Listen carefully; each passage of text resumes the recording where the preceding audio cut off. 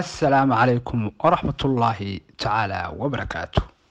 akhyaarta ama asxaabta aanu jecelnahay ee hawada naga daawanaysay meel kasta oo aada caalamka kaga sugan tihiin waxaanu idiin rajeynaynaa caafimaad qab iyo badhaadhe ron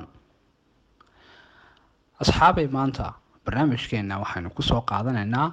dhakhaatiirta waddanka shiinaha oo badbaadiyey qof nolosha waayey muddo kooban ilaahay subxaanahu wa tacaala ayaa badbaadin kara nooleysin kara dili kara naf kasta. Qormadan xiisaha badan ayaanu maanta kaga sheekeyn doonaa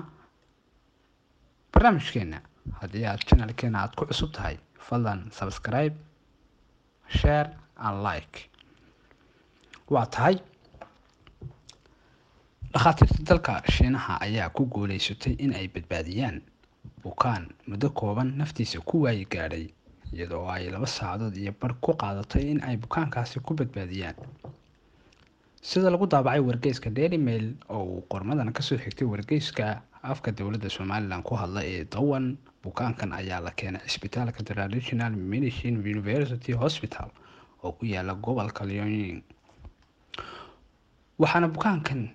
mar kaliyaata istaagay wadnaha kadib markii uu shil galay taas oo keentay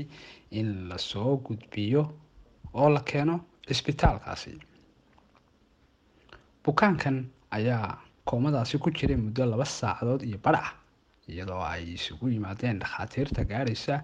ilaa labaatan dhakhtar waxaanay siiyeen dawooyin suurtogeliya in ay dib u shaqeeyaan wadnihii iyo sambabadiisuba intii daweynta lagu waday waxa ay hoos u celiyeen laabta bukaankan dhakhaatiirtani in ka badan shan iyo toban kun oo jeer iyaga oo doonayay in ay naqas ka soo saaraan ama uu hawo soo celiyo. Waxaanay ugu dambeyntii dhakhaatiirtani ku guuleysteen in ay dib u soo celiyaan rajada qoyska jang oo iyagu hore uga war samray iyada oo ay xubno qoyskiisa ka mid ahi islamarkiiba bilaabeen in ay diyaariyaan aaska iyo weliba xabaashiisa balse xagga rabbi ayaanu ka dhiman ilaahay ayaa wax dila waxna nooleeya barnaamijkeenna maanta intaas haynagu ekaado. Kulanti dambe oo xiise leh